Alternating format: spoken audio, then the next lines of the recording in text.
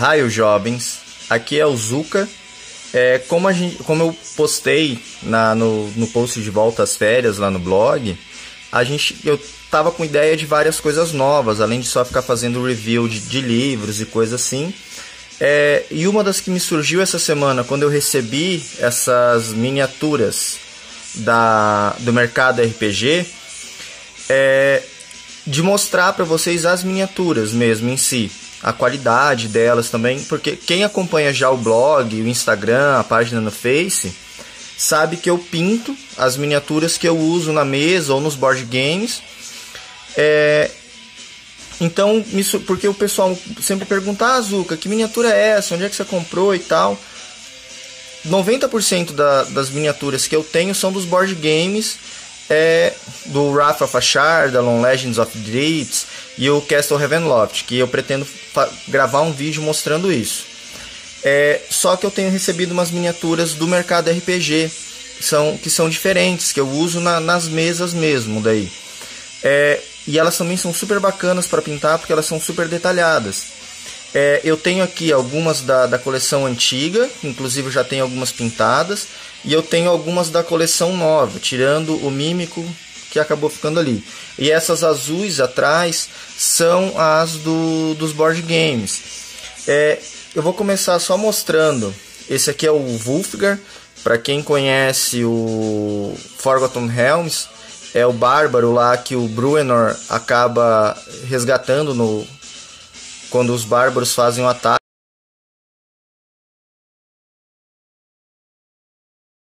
lá na, na, na, trilogia da na primeira trilogia que saiu pela Devir.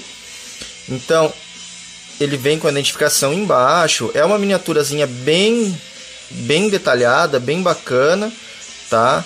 É, tem alguns detalhes que às vezes ficam escondidos como no rosto e coisa assim mas são umas miniaturas bem legais. É, eu tô terminando de pintar alguns monstros que faltam falta o, o Shimmer Gloom, o, o Shadow Dragon e a e a Jeanine do Orden, essa Drider. Aí então eu vou começar a pintar os heróis. Eu por que, que eu peguei ele? Para comparar com a, as miniaturas da, da linha da WizKids, que elas vêm branquinhas assim, mas porque elas possuem primer já. Então você a única coisa que você precisa fazer é pegar elas, lavar bem com, com água e sabão e meter tinta. O, o único alguns problemas dessas miniaturas que não sou só eu que que reclamam, né? Mas tem mais gente que reclama é o primer delas, em, principalmente nas primeiras que saíram na, nas linhas mais antigas, era um primer bem grosso e acabava tampando alguns detalhes, tá? É, ela tem as rebarbas dela, às vezes são atrapalham um pouco alguns detalhes e essas juntas aqui que eles fazem, mas depois na hora de pintar isso isso tampa facilmente. É igual esse Half York aqui que eu pintei. Aqui nessa nesse espaço aqui ainda dá de ver lá dentro que eu não consegui chegar com o pincel mas ele tampa facilmente. Depois você pintou ela, você usa elas tranquilamente e são miniaturas que ficam bonitas pra caramba na, na mesa para jogar. Então esse aqui é o Humano Bárbaro modelo A e ele vem e aí tem esse outro aqui que é o Humano Bárbaro modelo B. Ambos são da mesma coleção, tá? é, mostrar essas outras aqui, essa outra aqui que eu pintei, que é um, um lobisomem. Eu pintei tem algumas semanas, tem as fotos dele lá no, no Instagram. Também é da coleção velha, só que esse aqui foi um dos últimos a sair. Então o primer já veio melhor. A, a junção também, ó, dele que era aqui na, na cintura, quando você pinta você consegue tampar, esconder mais facilmente. Tem esse anãozinho aqui que eu pintei também, tá? Também é dessa coleção. O, a junção dele vinha da cabeça e da barba aqui, ó. Depois você tampa, você acaba fazendo uma sombra bacana. Ele, ele esconde também, tá? É, nossa, quanto tá eu tô falando. É, aqui só para mostrar para vocês, essa aqui é a Vistra, que é do Wrath of Ashardalon, e o Bruenor, já com a armadurinha do, do rei da, da montanha de Mithril, tá? É, ambos, esse aqui é do Legends of Dritz e a Vistra é do Wrath of Ashardalon. Então, só para mostrar, esses aqui são bem antigos, são lá de 2009, 2010, que são do, dos jogos de, de tabuleiro. Esse louco aqui é o Atrogate, sei lá como é que fala o nome dele, tá? Também é uma miniaturazinha bem bacana aí de um, de um Dwarf Warrior com, com duas massas na mão. Mas ao que importa, as miniaturas novas. Esse aqui é um, um, um Dwarf Barbar, Barbarian, tá? É o, se eu não me engano, acho que é o modelo A. Então, já dá de ver que a que o primer, ele já vem, ele já tá com uma camada bem mais fina, bem mais fina mesmo tá? Não está escondendo detalhes.